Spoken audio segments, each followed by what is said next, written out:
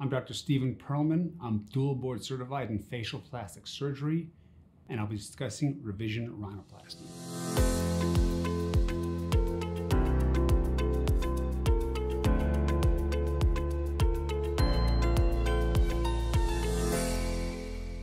Revision means we're taking someone who had prior surgery to the nose and improving the way they breathe or the way they look.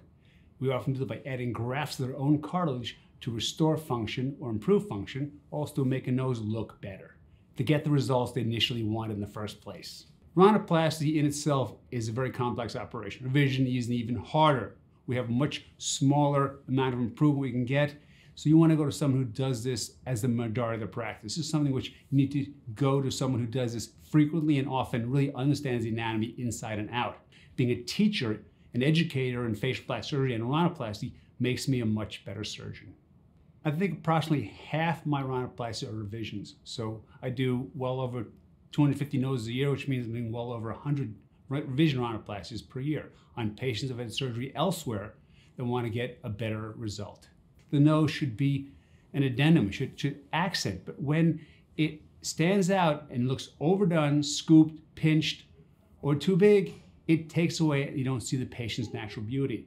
In worst case scenarios, there are even some people who have developed breathing problems after their rhinoplasties. So not only did they not get what they expected, but they also gained problems from having that original surgery. People have been through rhinoplasty surgery, they've paid a surgeon, they've had expectations, they've gone through the healing process, and they did not get what they expected. Revision rhinoplasty is a very emotional journey and it differs greatly from someone who's coming in for their first rhinoplasty. So the emotional aspect is you now have gone to someone who you trust who may or may not have a great reputation and didn't come out how you liked it. And again, the, the incidence of revision rhinoplasty ranges from 5 to 15%.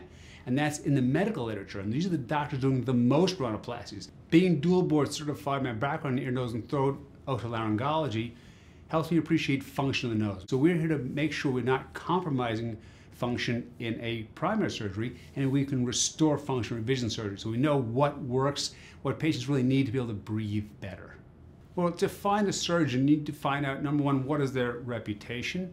Are they known for doing noses and revision noses? Sometimes you may have to go to their office because not all our patients want us to share their pictures, but we have a lot more in the office that patients that you can use it in your office to show patients. So it's not about is this person have a great reputation on social media or the hot go-to guy that got interviewed by a TV show because they may just be doing PR. You want to go to someone whose eye meets yours, whose aesthetics meet yours, and you know has the credentials that you feel comfortable with can help restore your nose.